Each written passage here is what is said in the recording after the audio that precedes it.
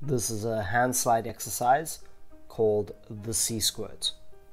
We set up with the feet roughly hip width distance apart and a gentle bend in the knees. This allows the pelvis to remain soft and the belly to remain soft. The movement begins with the eyes. As the eyes look down, the hands travel from the fronts of the thighs down the middle of the thighs, so the insides of the thighs, towards the insides of the knees.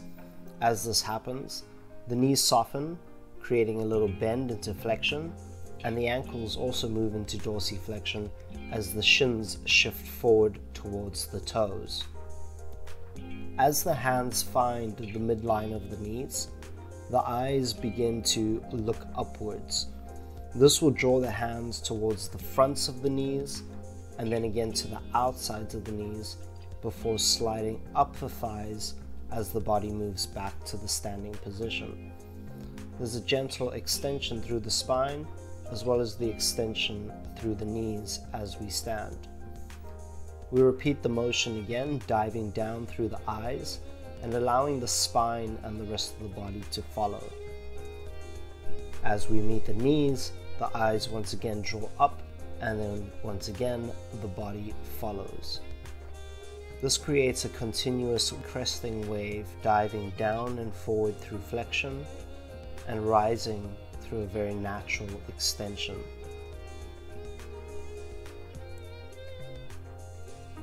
In this exercise, we're forming an awareness of the eyes and their relationship to the head and their relationship to the rest of the body. So, noticing how, as the eyes move, the rest of the body can follow along. We're also working on developing our understanding of the weight of the head and how that relates to the movements in the rest of the body. So, using the weights of the head to help to guide motion through the rest of our structure.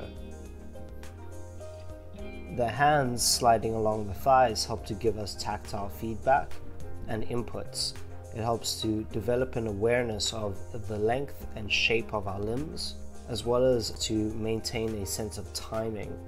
By sliding the hands, we can search for a smooth and even rhythm or tempo, and this will help us to understand exactly which parts of the body we may be favoring more than others.